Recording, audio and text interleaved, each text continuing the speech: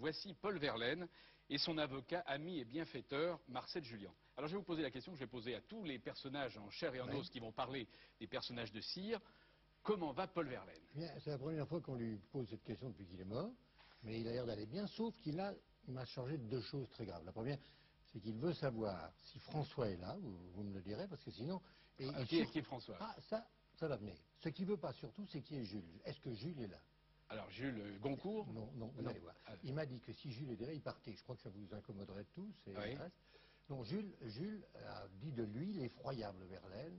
Il a dit Diogène Sali. Il a dit que c'était un chien, c'était une hyène. Et c'était Jules Renard. Donc c'était quand ah même ah oui. un peu, ah ben non, mais Jules Renard n'est pas là. Jules Renard n'est pas là. Donc ça va, on peut rester, ça va très bien.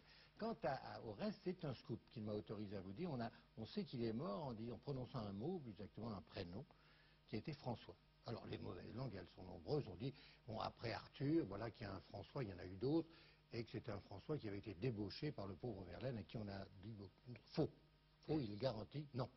Alors on dit, c'est peut-être aussi qu'il avait l'habitude de, faire des facéties sur lui-même. Alors il s'appelait volontiers euh, Saint-Antoine de Padoue, parce qu'il était souvent violent.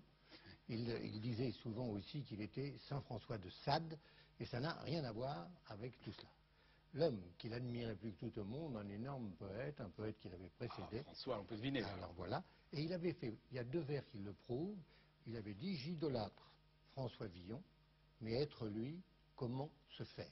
Eh bien, voilà pourquoi il est mort en disant le nom de François Villon. Il tenait que ça soit Mais on ne trouve pas ça dans les biographies de Verlaine? Non, il était temps qu'on corrigea aujourd'hui. Et il a un dernier vœu, c'est qu'il s'attendait à ce qu'il y ait un autre écrivain vivant, celui-là. Ben oui qui eût été là pour boire l'absinthe avec lui ce soir, et qui lui ressemble un peu en ce moment et qu'on adore tous, c'est Antoine Blondin. Alors il regrette, il est content de l'absence de Il regrette l'absence de, Rimbaud. Et, Rimbaud, moins. Il a eu des, ah oui, des pensez qu'il aurait préféré aujourd'hui euh, Antoine. Antoine Blondin. Antoine qui leur emmenait. Alors si Antoine est quelque part, merveilleux, je lui ramène.